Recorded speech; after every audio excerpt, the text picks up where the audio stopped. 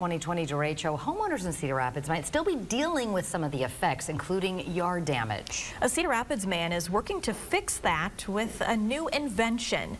KCRG TV9's Grace Vance spoke to Francis Lebeda about his invention and how he says it can help homeowners. Danielle, he tells me he designed and tested his invention in just 60 days. Lebeda says it's meant to help homeowners fix their yards after damage. I spoke to him about how it all started. It's unique.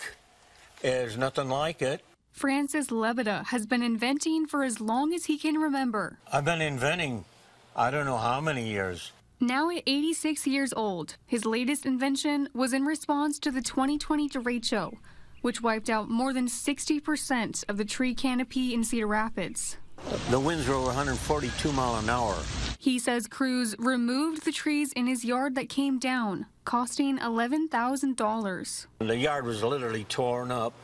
So I knew I had a, I looked to the internet and to find somebody had a yard leveler, and nobody did.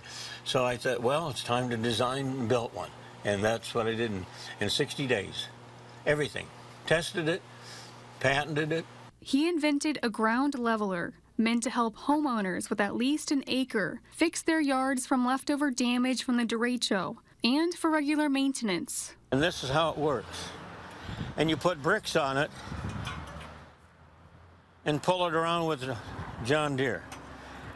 They'll go in three inches into the ground and they'll make a, a, furrow every four inches. He says he's been using this prototype for three years and is now working to get it manufactured. Lebeda says it all started here in his workshop in Cedar Rapids. I'll get an invention and I'll build it here, but I'll think about it at home and do some research and then I'll produce it here.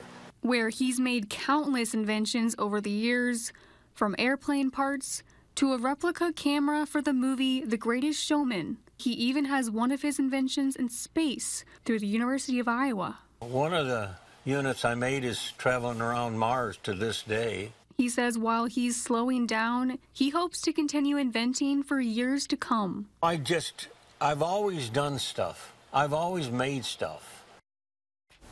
He says he's presented his invention at the last month's home show and says it got a lot of interest. He's now planning to help make a fertilizer attachment for this. In the studio, Grace Vance, KCRG TV9 News.